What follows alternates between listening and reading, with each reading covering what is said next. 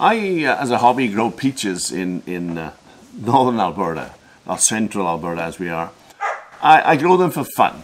And uh, I grow peaches because this is an interesting thing about them is peaches, which are uh, ap- apricots are related, and nectarines, which are just peaches without fuzz.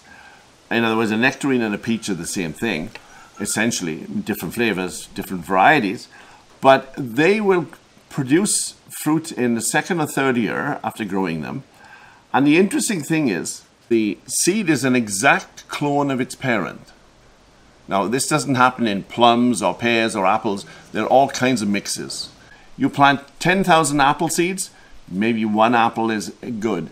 But you plant 10 peach seeds or 10 nectarine seeds, and every one of those is, well, 90% of them anyway, is going to be exactly like the parent. And the unusual thing about peaches is that in the second, third, or fourth year, they'll fruit. And people think, oh, it's going to take a long time. Now, if you grow an apple, even, even a crab apple takes five or six years before it fruits. Peaches are very rapid fruit producers. And again, I'll emphasize, they are easy to grow. They grow true from seed. And if you live in a cold climate like me, you can grow them in pots. I built a greenhouse. I didn't buy a, an expensive $50,000 CUV. I have a $25,000 greenhouse. That's in Canadian funds. And uh, I enjoy it. And if I want spring in the greenhouse, I turn the temperature up in uh, March. And I work on my hobby, and the peaches actually flower in March. And I get crops of peaches and apricots. Yeah, they've finished now, and I've picked some up from the store just to show you. Well, what I've got here is a selection of peaches, actually. Nectarines, if you want to call them. They're nectarines, really. There's a yellow one, there's one lots of red, there's the white fleshed ones. And, you know, all you're after in here is the seed, if you want to grow them. That is the pit, or, or, or, uh, or um, sometimes it's called a stone. And I've seen where people go and bash them up. They take a hammer and they, they bash them up and extract the seed. There's no need to do that. Does nature want you to do that? Not really. What you do is this. You take those seeds out, and these are seeds from different uh, peaches and nectarines. Small peaches, uh, bigger nectarines. They're all the same. What do I do? Take a pot, soil, and say, okay, do I have to do anything special? No. Just take these seeds. I, I maybe get better results perhaps if you keep them dry for a week and plant them in a month's time. But no, just take these seeds and put them in this pot. Just stuff them in, push them in down like that and say, these are the peaches that you liked. And of course you take a pen and you label them. Peaches.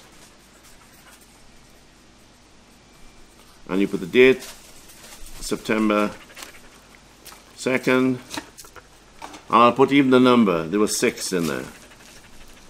And you put the label in. Now you can water this if you want to. But this this pot must go through a cooling period. It's called a chilling period vernalization. It has to go through a winter. So if you live in a warmer climate, you can put this pot outside, uh, or you should actually bury it in the soil up to the top of the pot. I can bury it in the soil outside here, or I can water this and leave it in the greenhouse because during the winter the temperature in this greenhouse will fall down to freezing or close to freezing. And peaches can take 5, 10, 15, even 20 degrees of frost, but it can't take the 30 below that we have outside here. So peaches can take a lot of cold, but it can't take the full cold. I leave them in there, and when they germinate in the spring, I will transfer them to pots. This was one I had last year. Look at the size of this. This is a one-year seedling. Actually, it's a nectarine, and a one-year seedling It's grown three foot, perhaps, if you measure it. It's one meter. And this was one I put two years ago. I put them outside because they harden outside and the wood ripens. You have to be diligent in watering them. You can't forget to water them. But uh, I have this outside. This is a two-year-old. You see the side branches on it and the size of it and the stem. Now this may produce a few flowers next year. If it does, since they're self-pollinating, you just touch them with a little brush, touch the little pink flower with a brush. In fact, sometimes the flowers are quite big. They will set a, a, a peach. This is a, bigger three gallon pot. And this is a three-year-old. But this little one here produced six peaches this year. Six peaches about this size. Right here, you see the, the nods there? It produced six full-size peaches on this one branch.